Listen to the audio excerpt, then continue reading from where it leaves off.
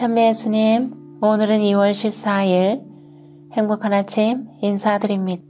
오늘은 성 치릴로 수도자와 성 메토디오 주교 기념일이며 묵상할 복음 말씀은 마르코 복음 8장 14절에서 21절까지의 말씀입니다. 주제는 망각하는 인간입니다. 그때의 제자들이 빵을 가져오는 것을 잊어버려 그들이 가진 빵이 배 안에는 한 개밖에 없었다. 예수님께서 그들에게 너희는 주의하여라.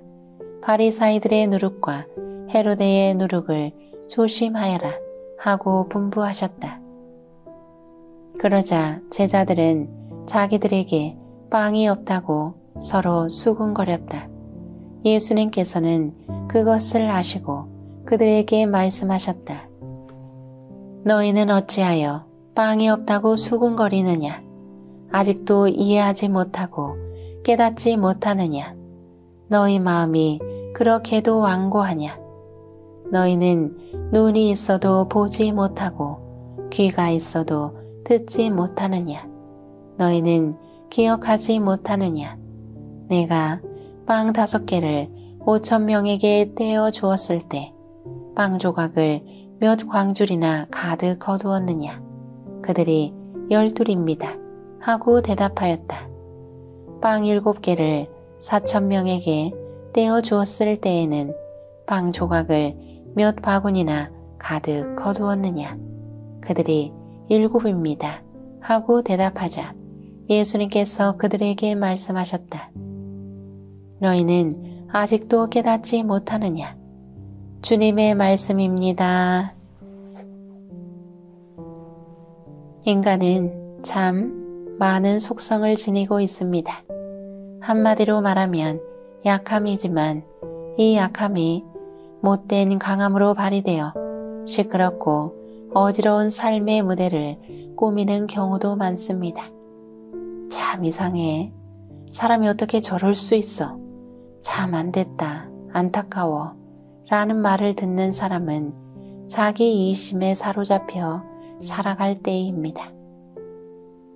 그 사람에게는 주변이 보이지 않습니다. 자기만 생각하다 보니 자기 유익만을 취하다 보니 주의를 보지 않게 되고 또 그것이 편하게 되니 더 보지 않게 되고 그것이 습관이 되어 그런 사람이 되는 것입니다. 얼마나 많은 사랑을 받았고 얼마나 많은 축복을 받고 살아왔는데 그것은 모두 잊어버리고 이기심만 남아 살아가는 것입니다. 매일 자기를 보는 성찰이 이루어지지 않으면 어느새 자기 팔이 안으로 굽듯이 철저히 이기적인 인간으로 사는 것입니다. 의식 수준으로 보면 하위입니다. 기도도 많이 하고 매일 성당 가고 운동도 열심히 하고 자기 개발까지 열심히 하며 살아가는데 왜 그렇게 욕을 먹을까요? 자기만을 위해서 사는 생활이 80%를 넘기 때문입니다. 기도도 자기를 위해서, 성당을 가는 것도 자기를 위해서 하는 것입니다. 그동안 얼마나 많은 것을 받았고 감사할 일이 많은데 그 모든 것이 자기 것인 양 쥐고 사는 것입니다. 너희는 기억하지 못하느냐?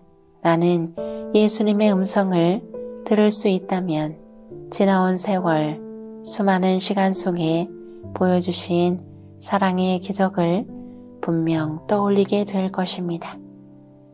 오늘 제자들이 예수님께 혼나는 것은 지금 자기들 수중에 있는 것을 내어 놓아야 하는데 내 거라 여기고 빵을 가져오지 않은 사람들을 탓하는 지경에 놓였기 때문입니다. 아무리 어려운 상황이라도 현실을 직시하고 마음을 합치면 빵의 기적은 일어나게 되어 있습니다. 오늘 좁아진 문을 열고 나 자신을 통해 이루시는 빵의 기적을 만나봅시다. 한 가지 기쁜 소식 알려드립니다. 오는 2월 11일부터 3월 5일까지 성경 필사 전시회와 소품전이 열립니다. 각 본당에서도 성경 필사를 많이 하시겠지만 이번에 전시회를 여는 이유는 평화계곡에서 소임하고 계신 이어파비엔 수녀님이 매일 영어로 쓰신 성경을 전시하게 되고 그의 동생인 여인동 모니카 자매님이 서예 글씨로 성경을 쓴 작품들입니다. 또한 소품전과 함께 열립니다. 여러분 가정에서 나누고자 하시는 성물이나 기타 물품 무엇이나 좋습니다. 택배로 보내주시거나 직접 갖다 주시면 소품전에 내놓게 되고 그 수익금은 어려운 이웃 돕기에 쓰여집니다. 그럼 주소 불러드리겠습니다. 경북 성주군 초전면 소성길 330 평화계곡 김연희 마리아 수녀 010-9808-3210 기억해 주시기 바랍니다. 그럼 저는 내일 또 찾아오겠습니다. 안녕히 계세요.